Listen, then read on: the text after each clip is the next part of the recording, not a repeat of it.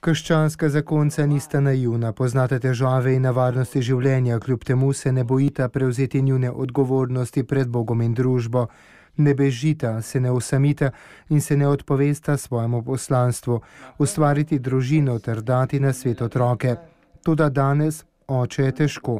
Seveda je težko. Ravno zato je potrebna milost, milost, ki jo da zakrament. Zakramenti niso za ukras v življenju, kako lepa poroka, kako lepo bred, kako lepo praznovanje. To ni zakrament, to ni milost zakramenta, to so samo okraski. Milost ni zato, da nam okrasi življenje, ampak da nas v življenju naredi močne, pogumne, da gremo lahko naprej, da se ne bi izolirali, ampak šli vedno skupaj. Je dejal papež Frančišek zbranim na prvi dan romanja družin k svetemu Petru v Rim, ki se ga je odeležilo več kot 150 tisoč vernikov iz več kot 75 držav z petih kontinentov.